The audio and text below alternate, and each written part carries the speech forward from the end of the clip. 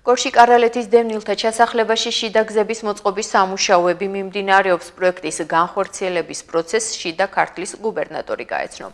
გიორგი ხოჯევანიშვილი ჩასახლებაში მივიდა და სამუშაოები დაათვალიერა. ხოჯევანიშვილი ადგილობრივებსაც გაესაუბრა და იმ სიკეთეებზე მიაწოდა ინფორმაცია, რომელსაც ადგილობრივები პროექტის დასრულების შემდეგ მიიღებენ. გუბერნატორის განცხადებით სამუშაოებზე 4 მილიონ ლარამდეა განსაზღვრული, რომლის დასრულების შედეგადაც მოსახლეობა განახლებული საგზაო ინფრასტრუქტურით ისარგებლებს.